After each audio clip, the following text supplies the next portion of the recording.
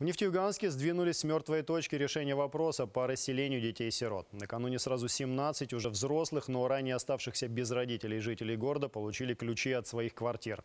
Напомню, в нашей стране не имеющие жилья сироты после своего 18-летия вправе рассчитывать на квадратные метры от государства.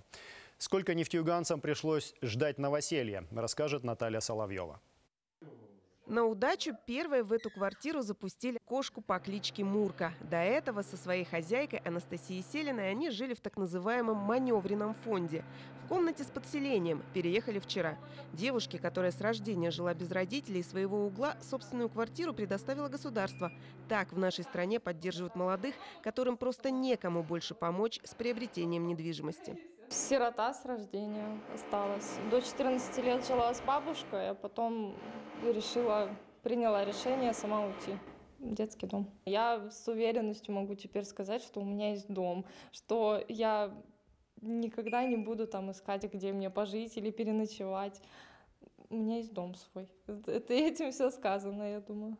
Свою квартиру Анастасия должна была получить еще на 18-летие, однако новоселье девушка ждала целых три года. В Нефтеюганске образовалась очередь из детей-сирот, которые ждут положенных им квадратных метров. На сегодняшний день э, в списке детей-сирот и детей, оставшихся без попечения родителей, э, состоит 57 лиц, э, право которых не реализовано с 2019 года, которые не являются собственниками жилых помещений, либо членами семей нанимателей. По этой программе местные власти могут выкупать жилье как на первичном, так и на вторичном рынке. Но собственники, желающие продать квартиры, не хотят участвовать в торгах.